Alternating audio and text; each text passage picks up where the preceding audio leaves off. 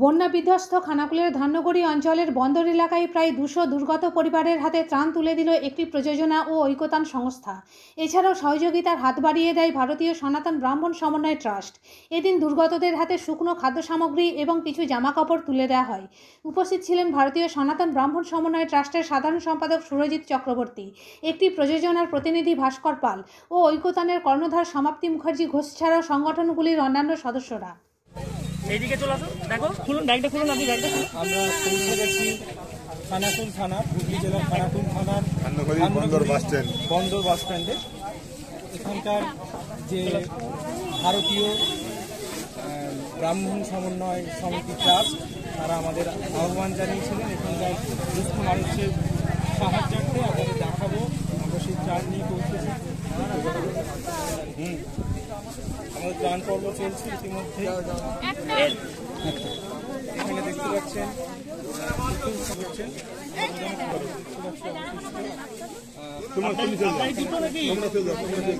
নমস্কার, আমি সুরজিৎ চক্রবর্তী, ভারতীয় সনাতন ব্রাহ্মণ সমন্বয় ট্রাস্টের সাধারণ সম্পাদক। আমাদের এই সংগঠনটি সম্পূর্ণ অরাজনৈতিক এবং এখানে আমাদের এই সংগঠনের মাধ্যমে বিভিন্ন মানুষকে তাদের অসময়ে আমরা পাশে দাঁড়াই আমাদের সাধ্যমতো। অনেক সময় আমাদের সাধ্যের বাইরেও থাকে।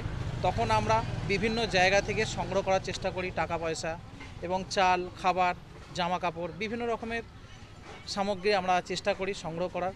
ঠিক তেমনি এই খানাকুলে যে বন্যা হয়েছে আপনারা সকলেই জানেন গত দু তারিখ, একত্রিশ তারিখ থেকে বন্যাটা ছিল প্রায় চার পাঁচ দিনের ওপর। যেখানে বড় বড় বাড়ি মাটির সঙ্গে মিশিয়ে গেছে এবং যে জায়গাটায় দাঁড়িয়ে আছে এখানে এক মানুষের ওপরে জল। এবং সেইখানে সামনে একটা পোল আছে, সেই পোলকে পর্যন্ত উড়িয়ে নিয়েছে। এবং এখানে যে সরকারি প্রকল্পের কল ছিল, সেই কলটাকেও মাটির সঙ্গে মিশিয়ে দিয়েছে। এবং এখানে যে বাস স্ট্যান্ড ছিল, তার মধ্যে একটি বাস ছিল, যে বাসটা তুলতে পারা যায়নি। হঠাৎ করেই সেই জায়গাটা ধস নামাতে।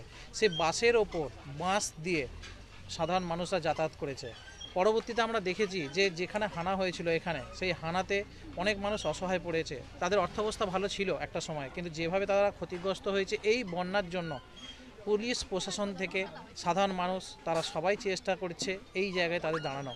এবং খানাকুল থানার উদ্যোগে বিশেষ সহযোগিতায় আজকে আমরা এই তান কাজটি করতে পেরেছি। খানাকুল থানাকে আমরা ধন্যবাদ জানাব এবং সেই সঙ্গে আমাদের ট্রাস্টে যে সমস্ত সদস্যরা রয়েছে, যেমন রাজ্য কমিটির মেম্বার রয়েছে আশিস ভট্টাচার্য, রূপনারায়ণ চক্রবর্তী এবং রুরুন রায় এবং ব্রহ্মানন্দ মিশ্র। আমরা এই ছাড়াও আমাদের আরও অনেক সংগঠনের সদস্য রয়েছে সংগঠনের। বিভিন্ন জায়গাতে আমাদের এই সংগঠনটা উদয়নারায়ণপুর, যেটা হাওড়া জেলার মধ্যে পড়ছে উদয়নারায়ণপুরে পাঁচারুল এবং আমাদের খানাকুল হচ্ছে তার মধ্যে একটা শাখা। সমস্ত ব্লকে আমাদের এই ভারতীয় সনাতন ব্রাহ্মণ ট্রাস্টের সদস্যরা রয়েছে। আমরা চেষ্টা করি কোথাও গিয়ে কারোর পাশে হচ্ছে দাঁড়ানো যারা হচ্ছে অসহায় অবস্থার মধ্যে হচ্ছে রয়েছে আমাদের সাধ্যের মধ্যে।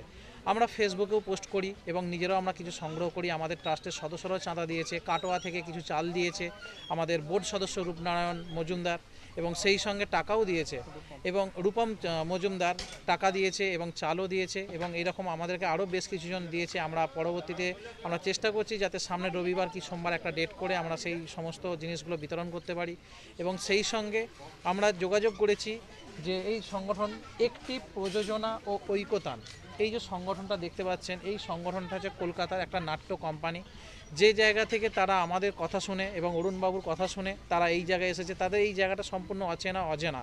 কিন্তু আমাদের কথা শুনে যে পরিস্থিতিটা ওনাদেরকে দেখিয়েছি, বুঝিয়েছি এবং ওনারা দেখেছে টিভিতে খবরের কাগজে, ওনারা নিজেরা। স্কুল, কলেজে কিছু ছাত্রছাত্রী পড়ে, তারা নিজেদের পকেট মানি থেকে বাঁচিয়ে আজকে এই জায়গায় টান দিতে এসেছে। একটি নাটকের দল এবং একটি নৃত্য সংস্থা। আমরা একটি প্রযোজনা নাটকের দল এবং নৃত্য সংস্থা হচ্ছে ঐকতান আহ, আমরা যৌথভাবে কাজ করি সব সময় চেষ্টা করি একসাথে একটা পরিবারের মতোভাবে কাজ করার।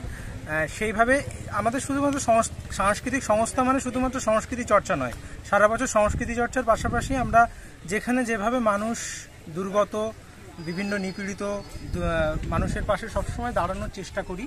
সেই হিসাবেই সেই ইয়াসের পরবর্তী কাল থেকে আমরা সুন্দরবন থেকে শুরু করে এদিকে দীঘা উপকূলীয়বর্তী অঞ্চল পর্যন্ত আমরা ছুটে বেরিয়েছি আমাদের সাহায্যের যে যেটুকু পেরেছি তাদের সংগ্রহ করে নিয়ে সেই সব মানুষদের কাছে পৌঁছাতে, দুর্গত মানুষদের কাছে পৌঁছাতে ঠিক একই রকমভাবে আমরা জানি কয়েকদিন পূর্বেই যখন দক্ষিণবঙ্গে প্রবল ভারী বৃষ্টিপাত অর্থাৎ নিম্নচাপের ফলে এবং তার সাথে সাথে ডিভিসির ব্যাপক পরিমাণে জল ছাড়া, এর ফলে যে বন্যা সৃষ্টি হয়, বিশেষত হুগলি, হাওড়া এবং মেদিনীপুরের কিছু অংশ, বিশেষ করে হুগলির বেশি অংশ, আমরা টিভিতে এর আগেই দেখেছি যে খানাকুলের বিস্তীর্ণ অংশ ভেসে গেছে এটা দেখে আমাদের খুব খারাপ লাগে এবং আমরা তখন থেকেই পরিকল্পনা করি যে কীভাবে সেই সব মানুষদের কাছে পৌঁছানো যায়।